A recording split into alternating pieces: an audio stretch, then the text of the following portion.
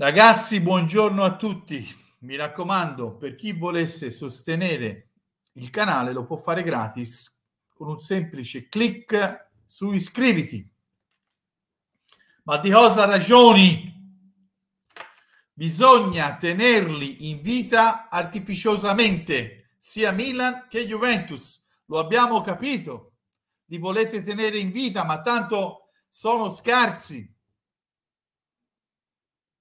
stanno facendo. Io ieri ho visto delle robe allucinanti. Quello che fa il pugile che fanno finta di nulla, gli dà un cazzotto. Quelli, que, quell'altro poi, cioè ragazzi, il Milan è una roba. Parliamo un po', parliamo un po' dei signori del Milan che, che, che, che si permettono anche di parlare dell'Inter.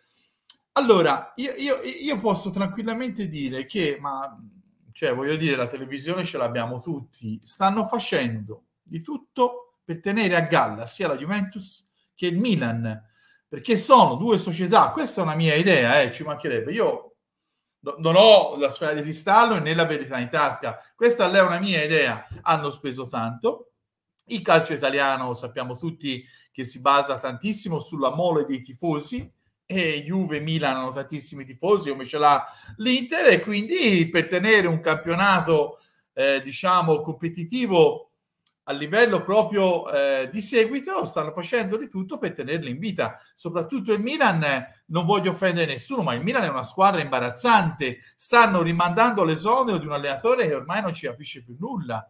Perché il derby è una partita a parte, lo sappiamo tutti, il derby abbiamo perso. Io vorrei ricordare comunque ai signori del Milan che nell'ultimo scudetto hanno vinto con 19 rigori. 19 rigori L'anno dopo, sempre ai signori del Milan, hanno dato 22 rigori in più contro il Lecce vincevano 2 a 0 questi polli si fecero recuperare 2 a 2 il Lecce se vi ricordate segna il 3 a 2 l'arbitro va a scovare un fallo inesistente al centrocampo e viene annullato il 3 a 2 al Lecce. Cioè è questo il calcio italiano ragazzi questo. Sempre i signori del Milan, prima della sosta,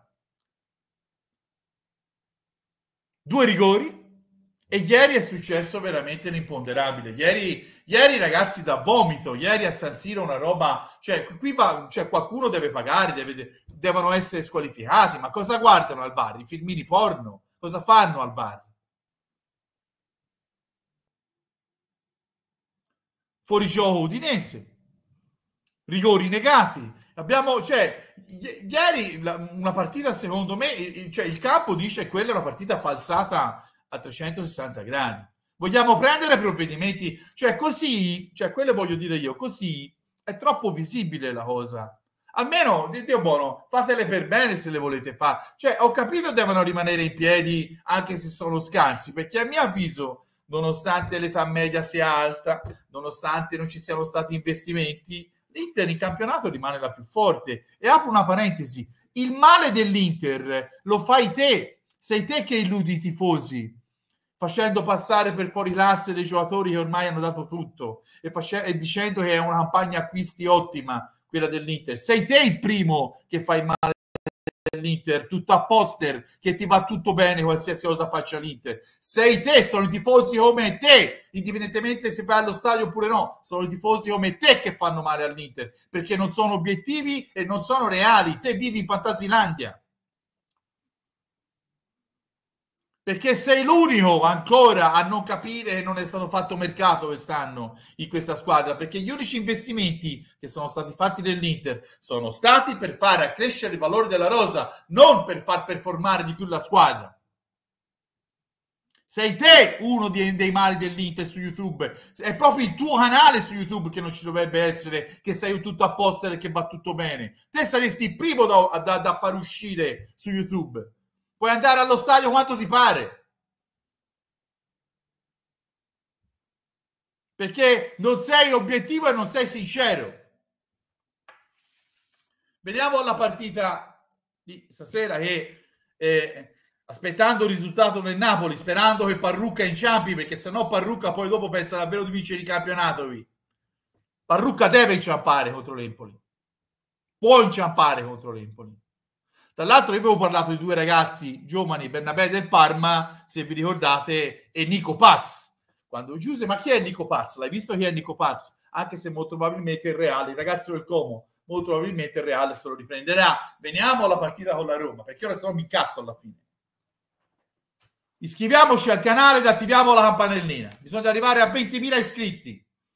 Proprio per contrastare tutto a poster che ti vogliono far passare i giocatori presi così a zero come dei fuori classe. Non è così. Sei te il male dell'Inter. Sei te che dovresti uscire da YouTube.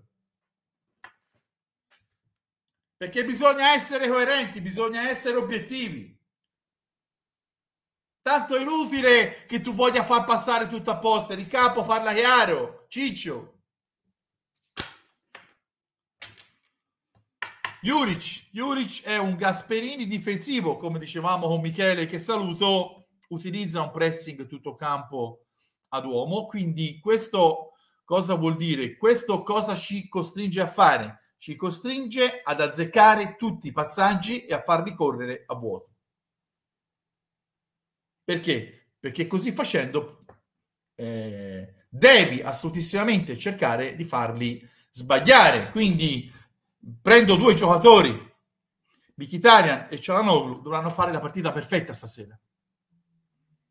Soprattutto loro due. Quindi, ripeto, aspettando Parrucca che gioca contro l'Empoli, eh, servono tre punti. Ormai ragazzi, cioè io non ti dico non si può più sbagliare, incominciatori in campionato, di osa ragioni. Però occhio, occhio rimaniamo lassù, rimaniamo lassù, bisogna andare a Roma, campo difficile, eh, sicuramente la Roma di Juric è una squadra un po' più quadrata, una squadra che comunque in campo sa meglio quello che deve fare, ma noi bisogna andare lì e vincere, perché fondamentalmente, ripeto, nonostante l'età media, nonostante i cinesi che è scappato, che non aveva un euro, nonostante non sia stato fatto mercato, per me nel campionato italiano, nella Serie A, siamo ancora i più forti. Ciao Inter.